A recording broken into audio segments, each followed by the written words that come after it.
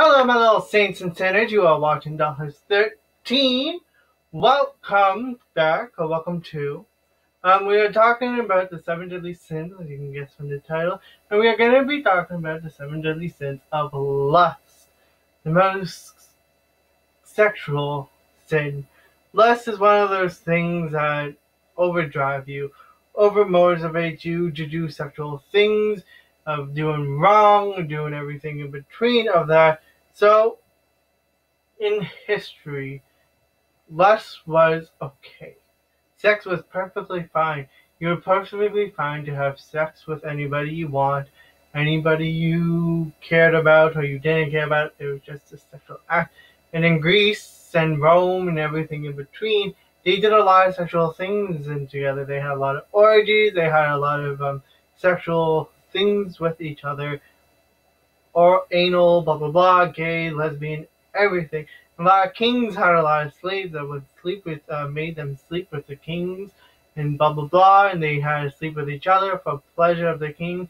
So lust was kind of those kind of situations, and in Christianity, there there was people that was against um, lust, and there was people that were really into lust. They thought lust was not a problem they did lust. There was a room for the sexual orgies and everything in Christianity. So it was kind of interesting of that because, you know, those things Christianity didn't like. So there had two different kinds of groups of Christianity. I can't remember what they're actually called, but, you know, there's those groups. And I think you can see my text, which is perfectly fine. I like that because I'm a whore. But, you know, and all that between. So Christianity had a lot of sexual things, and then they didn't like some. The whole group that didn't like it left, and they did something else, and they went to do their own kind of situation. So that was quite interesting. And throughout the times, a lot of people tried to stop it. They tried to just end the sexual desires. There was um, people hid. They they did it in hidden kind of situations and it was quite fascinating to learn that Christianity was the most lustful kind of situation.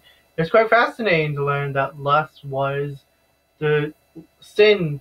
It was it was quite interesting. There is this there is a um, chemical inside you called testosterone and something else I can't remember. But testosterone is the thing that kind of bring you to the sexual desire of it bringing you to the sex moment of it. And the other, uh, the other thing, it brings you into love. It brings out the love kind of thing, and it kind of confuse. Sometimes it kind of confuses each other because the testosterone can uh, confused with lust, and the other gene can kind of confused with the testosterone. So it kind of mixes with each other, and there's this thing that sometimes you have no control. It's just overwhelming and everything like that for the sexual desires, and it can cause a lot of mayhem. They say in this, um, when you are in hell, you, when you are in hell, you basically get swung around in this wind of force, and it kind of tells you, kind of tells you that the sexual desires that you had, it was out of control. That's why you were flinging in the air with the wind and it's quite fascinating because you know that was it and that's kind of what sexual desire is that's what kind of lust is it's just the uncontrollable power of it and that's what it is. And then when you're in the purgatory of it you are burning for your sexual desire you are basically on fire for the burning of the sexual desire you have and it's quite fascinating for that too. In um Handi or something like that. Can't remember. I'm having a brain fart. Sorry, it's very hot right now. I just can't really think.